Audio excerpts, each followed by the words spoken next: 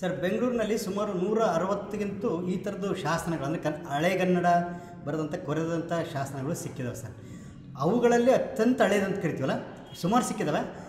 ಅದರಲ್ಲಿ ಅತ್ಯಂತ ಹಳೇದಂದ್ರೆ ಇದು. ಈಗ ಅತ್ಯಂತ ಹೊಸ ಅಂದರೆ ಪಕ್ಕದಲ್ಲೇ ಇದೆ. ಅದು ಸಾವಿರದ ಏಳ್ನೂರ ಇದರಲ್ಲಿ ಬರುತ್ತೆ. ಇದು ಏಳ್ನೂರಲ್ಲಿ ಬರ್ತದೆ ಸ- ಅದಕ್ಕೂ ಇದಕ್ಕೂ ಸಾವಿರ ವರ್ಷ ಅಂತರ.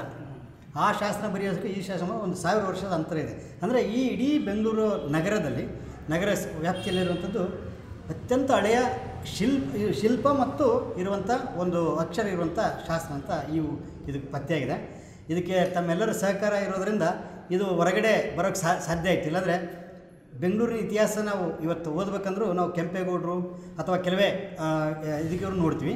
ಆದರೆ ಅವಾಗಿಂತ ಮುಂಚೆ ಅನೇಕ ಊರುಗಳಲ್ಲಿ ಅವ್ರದ್ದು ಇತಿಹಾಸ ಇತ್ತು. ಇಲ್ಲಿ ಬರುವಂಥ ಒಂದು ವೀರಗಲ್ಲು ಇದೆ ನೋಡ್ರಿ. ವೀರಗಲ್ಲು ಇರೋಒಂದು ಕತೆ ಇದೆ. ಕತೆ ಏನು ಅಂದರೆ ಒಬ್ಬ ವ್ಯಕ್ತಿ ಅಲ್ಲಿ ಇರುವಂಥ ಒಬ್ಬ ಪಟೇಲರು ಅಥವಾ ಇದು ವ್ಯಕ್ತಿ, ವೀರ, ಅಲ್ಲಿ ದನಗಳನ್ನು ಕೊ ಕಳು ಮಾಡ್ಕೊಂಡು ಹೋಗೋರು ಅಥವಾ ಹೆಣ್ಣುಗಳನ್ನು ಓಡಿಸ್ಕೊಂಡು ಹೋಗೋರು ಅಥವಾ ಈ ದವಸ ಧಾನ್ಯಗಳ ರಾಶಿ ಆದ ಸಂದರ್ಭದಲ್ಲಿ ದವಸ ಧಾನ್ಯಗಳನ್ನು ಕಳು ಮಾಡುವಂಥದ್ದು. ಅವರನ್ನು ತಡೆ ಹಿಡಿದು, ಅವರನ್ನು ತಡೆ ಹಿಡಿದ ಜೊತೆಗೆ ಅವನ ಸ್ವ, ಅವನು ಹೋರಾಟ ಮಾಡಿ ತನ್ನ ಜೀವನ ತ ಕಳ್ಕೊಂಡಿರ್ತಾನೆ ಅವನ ನೆನಪಿಗಾಗಿ ಇಟ್ಟಂಥ ಒಂದು ಶಿಲ್ಪದ ಶಾಸನ ಸರ್ ಸಾಮಾನ್ಯವಾಗಿ ಬೆಂಗಳೂರಿನ ಬೇಗೂರಲ್ಲಿ ಈ ಥರ ದೊಡ್ಡ ದೊಡ್ಡ ಶಾಸನ ಇದ್ದಾವೆ ಹನ್ನೆರಡು ಫೀಟು ಹದಿನೈದು ಫೀಟ್ ಎತ್ತರದಲ್ಲಿ ಬೆಂಗಳೂರು ಮ್ಯೂಸಿಯಮ್ದಲ್ಲಿ ಇದ್ದಾವೆ ಅದರಿಗಿಂತ ಹಳೆಯದಲ್ಲಿ ಇದರಲ್ಲಿ ನಮಗೆ ನಾಲ್ಕು ಫೀಟ್ ಉದ್ದ ಮೂರು ಫೀಟ್ ಅಗಲದಲ್ಲಿರುವಂಥ ಇದರಲ್ಲಿ ಕೆಳಗಡೆ ಶಾಸನ ಇದೆ, ಮೇಲ್ಗಡೆ ಆ ಚಿತ್ರಗಳಿದ್ದಾವೆ ಇಲ್ಲಿಯ ಸ್ಟೋರಿಯನ್ನು ಇಲ್ಲಿ ಹೇಳಿದ್ದಾರೆ. ಸೊ ಅದು ಈ ಥರದ ಒಂದು ಶಾಸನ ನಮಗೆ ಇಲ್ಲಿ ಸಿಕ್ಕಿಲ್ಲ. ಆ ಕಾರಣಕ್ಕೆ ಇದೊಂದು ಭಾಳ ಅತ್ಯಂತ ಮಹತ್ವದ್ದು ಮತ್ತು ಬೆಂಗಳೂರಿಗೆ ಹೆಮ್ಮೆ ಇರುವಂಥ ಒಂದು ಶಿಲ್ಪಕಲೆ ಅಂತ ನಾವು ಹೇಳ್ಬೋದು. ಯಾಕಂದರೆ ಈ ಒಂದು ಹೇಗೆ ಆ ಕಾಲದಲ್ಲಿ ನೋಡಿ, ಈ ಚಡ್ಡಿ ಹಾಕೊಂಡಿದ್ದಾನೆ ನೋಡಿ ಅವನು ಬ, ಆಭರಣ ಹೇಗೆ ಧರಿಸಿದ್ರು ಅವಾಗ ಖಡ್ಗ ಹೆಂಗಿರ್ತಿದ್ವು ಇವೆಲ್ಲ ನೋಡ್ಬೇಕಂದ್ರೆ ಇದರಲ್ಲಿ ಒಂದನ್ನು ನಾವು ಅಧ್ಯಯನ ಮಾಡಿದ್ರೆ ಗೊತ್ತಾಗುತ್ತೆ. ಇವತ್ತು ನಮಗೆ ಫೋಟೋಗಳಿದ್ದಾವೆ ವೀಡಿಯೋಗಳಿದ್ದಾವೆ ಸಿನಿಮಾಗಳಿದ್ದಾವೆ ಹೇಗಿದ್ದ ಮನುಷ್ಯ ಅಂತ ನೋಡ್ಬೋದು. ಆ ಕಾಲದಲ್ಲಿ ಏನೂ ಇರಲಿಲ್ಲ.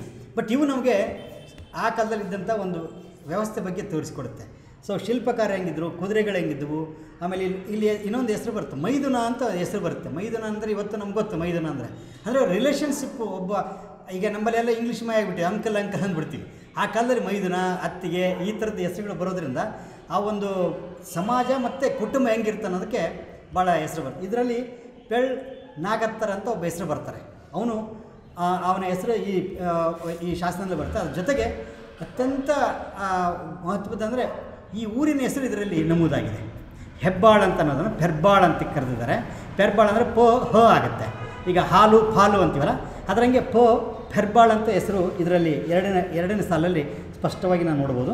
ಸೊ ಹಾಗಾಗಿ ಇದು ನಮಗೆ ಇಡೀ ಬೆಂಗಳೂರಿನ ಚರಿತ್ರೆ ಮತ್ತು ಬೆಂಗಳೂರಿನ ನಮ್ಮ ನಾವು ಬೆಂಗಳೂರು ಇರೋರಿಗೆಲ್ಲರಿಗೂ ಒಂದು ಮಹತ್ವದ ಇದು ಮುಟ್ಟದೇ ನಮಗದು ಭಾಗ್ಯ ಅಂತ ನನಗೆ ಅನಿಸುತ್ತಾ ಇದೆ.